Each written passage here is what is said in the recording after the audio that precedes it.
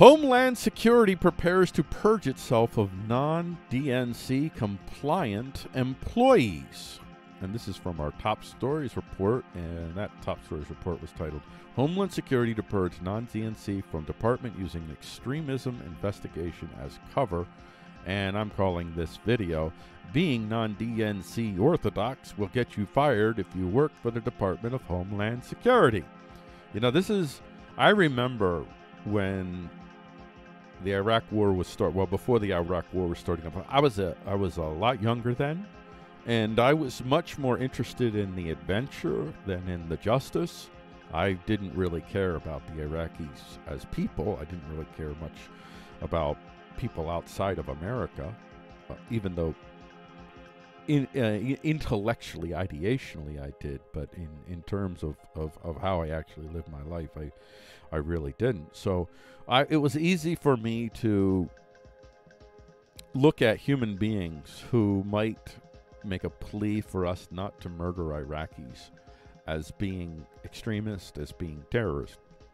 And, to use those words, extremist, to use those words, ter- terrorist, especially when the government was using those words and they were targeting people that I didn't like, that, that were threatening, that perceptively not accurately maybe, but perceptively were threatening me. So I was all on board with the creation of the Department of Homeland Security. I was all on board with the Patriot Act. I was all on board with all of these uh, methodologies of seeking to turn Americans against Americans because they had beliefs and values that we didn't share, that weren't orthodox. This was conservative orthodoxy, if you will, as opposed to woke orthodoxy or DNC. It's really DNC orthodoxy because there is very just like wokeness is a de facto religion that has multiple denominations.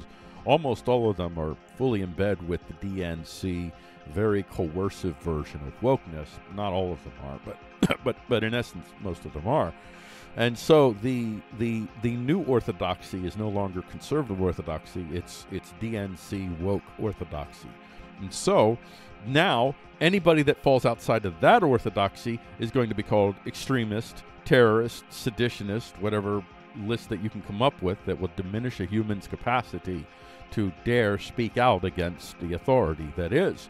And to that end, the Department of Homeland Security, this uh, par- partly the supreme, representing the supreme law of the land, is seeking to utilize these vehicles of power that, uh, when I think of ve- for me vehicles of power are any any beliefs, any habits that individuals can enter into with the hope of expanding their their personal power, which for me is what I call apex existentiality.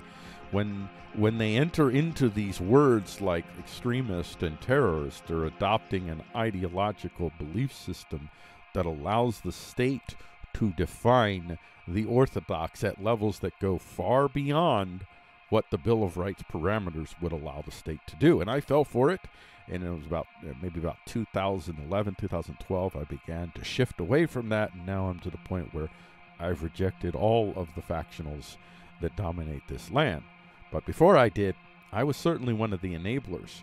And if you are one of the DNC acolytes and you imagine that the Homeland Security is doing anything but purging its its its department of of the of the non DNC, you're a fool.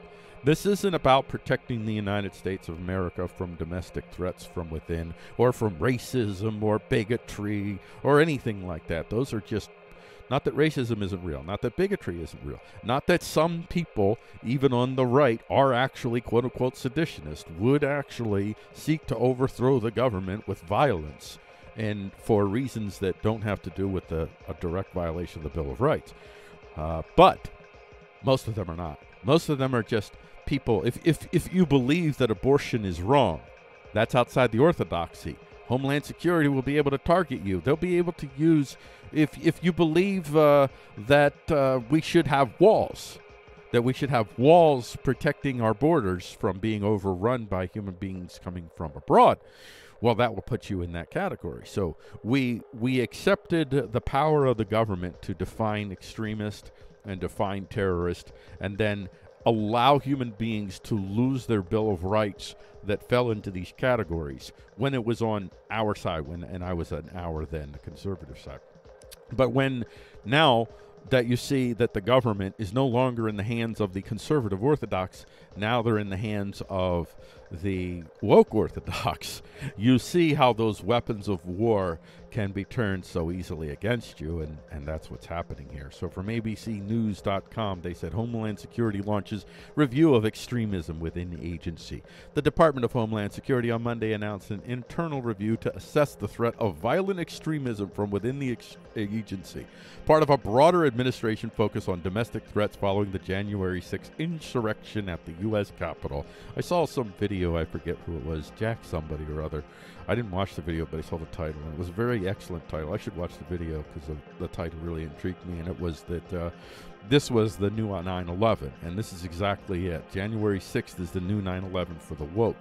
It's what the, the, the DNC woke. It's what they're going to use to convince we the poors, we the powerless, to to hand over more of our powers with the hope that somehow the people who caused the problems in the first place will somehow end the problem.